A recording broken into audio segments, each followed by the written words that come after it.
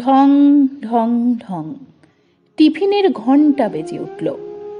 Classroom থেকে বেরিয়ে খুদে ছাত্রছাত্রীরা দৌড় লাগালো স্কুলের প্রধান ফটকটার দিকে। সেখানে যে মুখরোচক ফুচকা, ঘুগনি আলু কাবলি নিয়ে হাজির হয়েছে সেই কাকুটা। এই ছবিটা এখন অতীত। সৌজন্যে এই সময়ের বহু চর্চিত ভিলেন করোনা। ও তার সৌজন্যে দীর্ঘ দু মাসেরও বেশি সময় ধরে চলা লকডাউন। এই লকডাউনের সময়কালে কেমন আছেন এই ফুচকা বা ঘুগনি কাকুরা? কীভাবে চলছে মানুষগুলোর দিন যাপন? আজকের প্রতিবেদনে তেমনই এক প্রান্তিক মানুষের পেশা বদলের গল্প শোনাবো আপনাদের।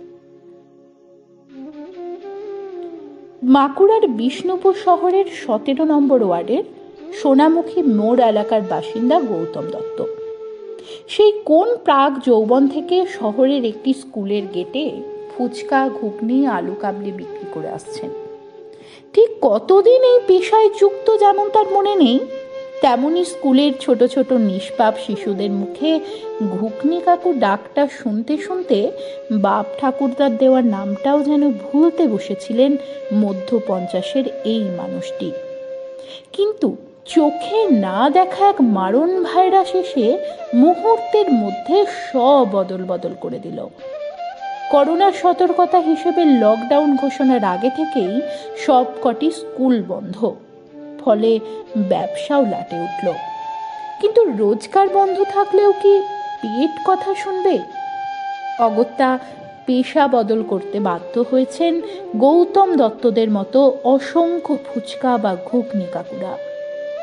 বিষ্ণুপুরের গৌতম দত্তের বাড়িতে বৃদ্ধ বাবা, দুই ছেলে, স্ত্রী ও নিজেকে নিয়ে পাঁচজনের সংসার। সেই কোন প্রাগ যৌবনে শুরু করা ব্যবসা এখন পুরোপুরি বন্ধ।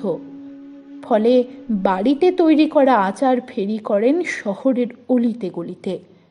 কিন্তু তা সেভাবে বিক্রি না হওয়ায় প্রাত্যহিক সংসার খরচ চালাতে হিমশিম খেতে হচ্ছে তাকে। সাত সকালে বেরিয়ে সারাদিন আচার হবে আচার, মিষ্টি আচার, তেঁতুলের আচার, লঙ্কার আচার, হরেক কিসিমের আচার। এভাবে হেঁকে হেঁকে গলা শুকিয়ে গেলেও প্রত্যাশিত বিক্রি নেই। ফলে এই মুহূর্তে সংসার চালানোটাই দায়ী হয়ে পড়েছে এই মানুষটির। আলু আলু কাটা ঘুগনি, মিক্সচার বিকতাম স্কুলে এখন আর বিকতে সব বন্ধ হয়ে গেছে। এখন মোটামুটি ঘুরে ঘুরে আটটার থেকে নটার থেকে এমনি বেরাচ্ছি আচার নিয়ে। দুটো আড়ার পর্যন্ত বিকি যা করে চলছে, পাঁচজন লোক খেতে। ওরা তো আর কেউ নাই ঘরে। এমনি চলছে টুকটাক। বাড়িতে চলছে বিকে পরে চাল কে ইয়াতে দিয়েছে কন্ট্রোল থেকে চাল দিয়েছে কমিশনাররা খাওয়াচ্ছিল কদিন।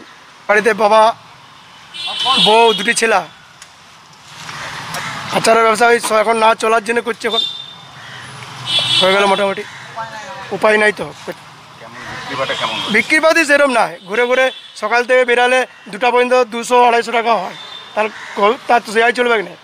খেতি তো খেতি কুড়ি টাকা চলে যায়। আগে ভালো হতো। আগে তোমার দুটা ব্যবসা যখন একসঙ্গে করতাম বিকালে টিকালে নিয়ে সংসার মনে চলল পঞ্চাশ টাকা একশো টাকা জমতো। এখন মোটামুটি যতদিন ইয়ার হয়েছে ততদিন যা পয়সা ছিল সব বেরিয়ে গেছে। সত্যি কথাই বলো ভালো।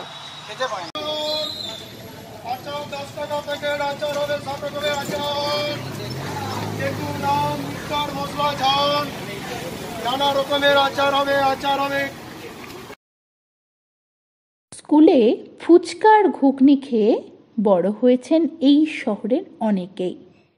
তাদের মধ্যে একজন বলেন গৌতমদা বিষ্ণুপুরের বাড়ি গৌতমদা ফুচকা আলুর দম বিক্রি করতো বা স্কুলে বিক্রি করতো।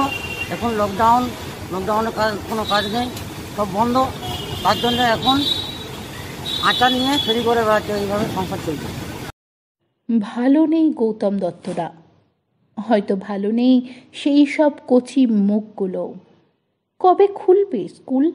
কবে ঘুগনি কাকু হাসি মুখে দাঁড়িয়ে থাকবে স্কুলের গেটেতে? হয়তো ওরা এমনটাই চাইছে। আর গৌতম দত্তরা চাইছেন কবে ফিরবে সেই আগের দিনগুলো? যেখানে দু মুঠো খাবারের জন্য ভাবতে হবে না। তপ্ত রোদে আচারের ঝোলা কাঁধে পায়ে হেঁটে আর ঘুরে বেড়াতে হবে না শহরময়। স্কুলের গেটে ফুচকা, ঘুগনি আর আলু কাবলি বিক্রি করেই হেসে খেলে কাটিয়ে দেওয়া যাবে বাকি জীবনটা। ব্যুরো রিপোর্ট, দক্ষিণ বাঁকুড়া দর্পণ, বিষ্ণুপুর। টিম দক্ষিণ বাঁকুড়া দর্পণের পক্ষ থেকে বিশেষ অনুরোধ। করোনা নিয়ে অযথা আতঙ্কিত হবেন না প্রশাসন ও স্বাস্থ্য দপ্তর। এ বিষয়ে সদা সতর্ক। প্রয়োজন হলে বিশেষজ্ঞ, চিকিৎসক বা সরকারি হাসপাতালের সঙ্গে যোগাযোগ করুন। গুজব ছড়াবেন না, গুজবে কান দেবেন না। সবাই ভালো থাকুন, সুস্থ থাকুন। আর বাঁকুড়ার সব খবরের আপডেট পেতে আমাদের ইউটিউব চ্যানেলে সাবস্ক্রাইব করুন। আপাতত এই পর্যন্তই। সঙ্গে থাকুন, খবরে থাকুন। ধন্যবাদ।